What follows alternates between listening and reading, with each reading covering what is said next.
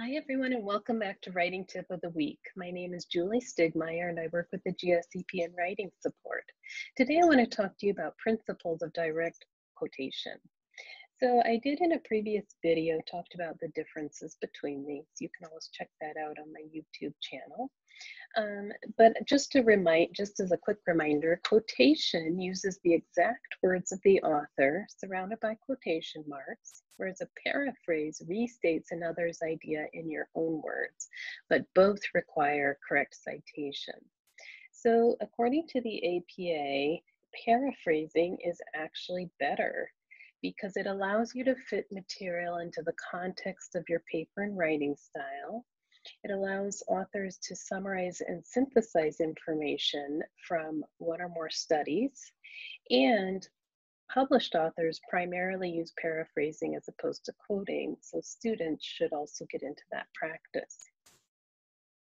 But is there, is there ever a time to use a direct quotation? quotation? Well, use a quote when an author has said something memorably or succinctly, or you want to respond to exact wording.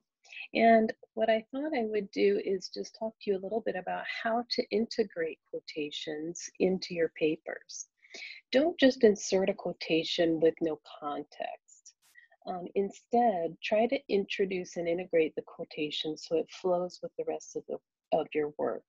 As your reader is going through your paper, your voice is in their head. You're, they are in your voice, um, learn with your writing style.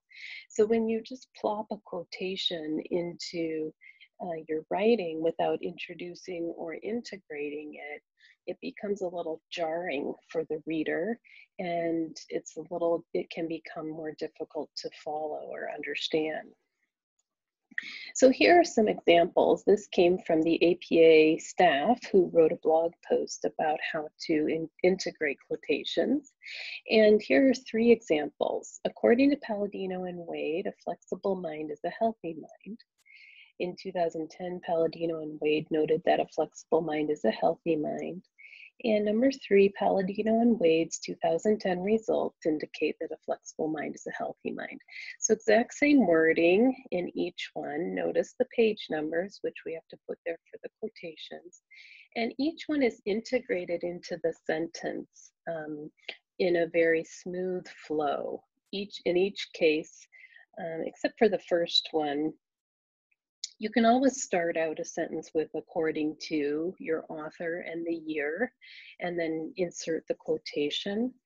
Um, but I actually think it shows a little more um, flexibility and a little more facility with the language if you can use the second or third approach, which is really integrating it into the grammar of your sentence.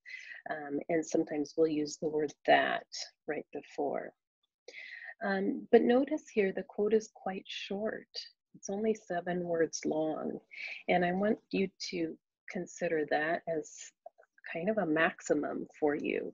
Do not use block quotations. That shows um, a lack of processing and understanding and integration.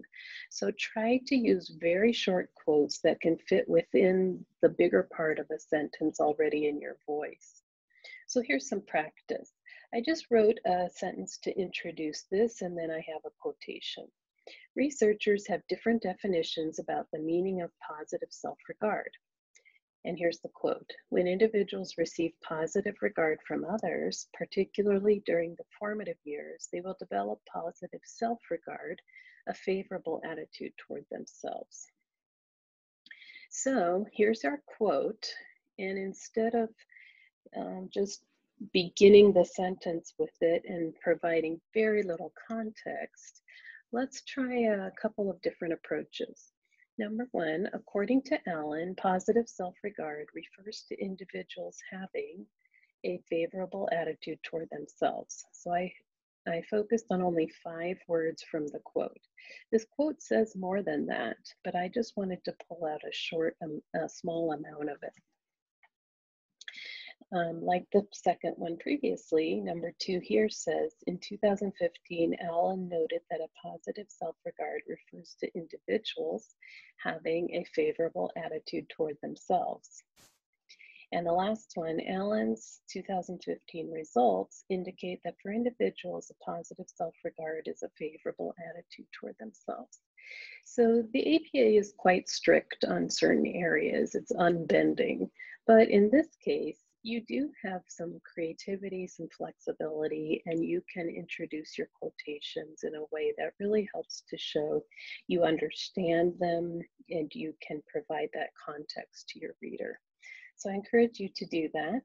Stay tuned for more tips and strategies in the future and happy writing.